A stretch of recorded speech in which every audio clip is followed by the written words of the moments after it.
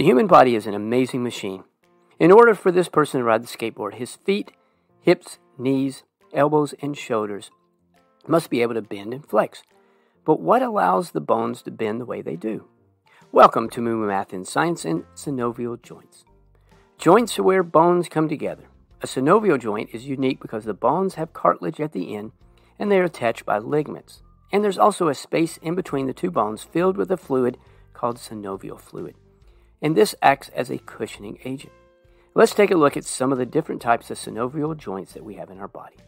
First, you have a ball and socket. They're found at your shoulder and your hips, and they allow for the movement of your shoulders and hips to move up and down and back and forth. They have a great range of motion. Basically, you take a ball and fit it into this socket.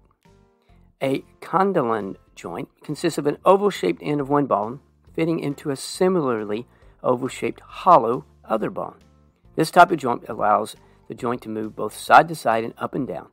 An example of this joint is found at your wrist. Planar joints have bones that allow for gliding movements, so sometimes these joints are called gliding joints. The range of motion is limited in these joints and does not involve rotation. Planar joints are found in the carpal bones in the hand and the tarsal bones of the foot. Saddle joints are named because the ends of each bone resembles a saddle. An example of a saddle joint is your thumb joint, which can move back and forth and up and down. But more freely, it can move more freely than your wrist or fingers. Hinge joints can be found at your knees and your elbows, and they allow for back and forth movement. Think of a hinge on your door. And pivot joints consist of the rounded end of one bone fitting into a ring formed by the other bone.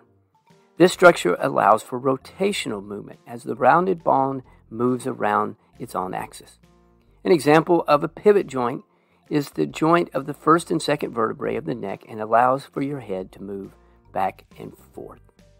So there we go the different types of synovial joints. And remember, kindness multiplies kindness. Be kind to someone today.